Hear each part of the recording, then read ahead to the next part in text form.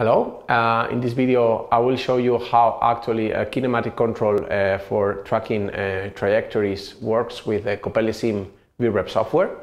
Uh, as you can see here I have a, a scene uh, in which I have defined a path object. I have added uh, a robot, in this case a Pioneer 3DX robot, and I have added a dummy that I made child of the path and this dummy is right there as you can see here. Yeah.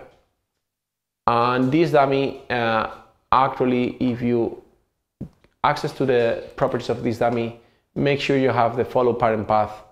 And also this uh, value here depends on the offset position that uh, you you have for your path and that will modify the position of this uh, point along the path okay also make sure that in your path you have uh, uh, properties that I mentioned before about the path. All of them are checked here. Okay, so they are, everything is properly configured.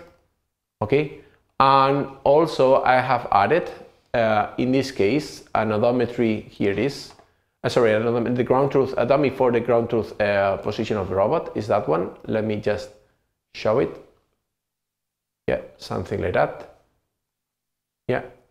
And as you can see, um, this uh, dummy here is aligned with the wheels, the robot wheels, and it's just right in the middle. And the x-axis is pointing upward, uh, and the y axis, or the x, uh, sorry, the x-axis is pointing forwards, and the z-axis is pointing upwards. Okay. Okay. So I obviously have implemented the um, the, the code uh, in order to uh, succeed with the kinematic control. So let me just uh, run the simulation and see how it works. You can see the robot is tracking uh, almost perfectly, let's say, uh, our trajectory over the time. And, uh, and uh, well, let's, let's just simply finish uh, till it finishes the, the whole loop to see that actually works.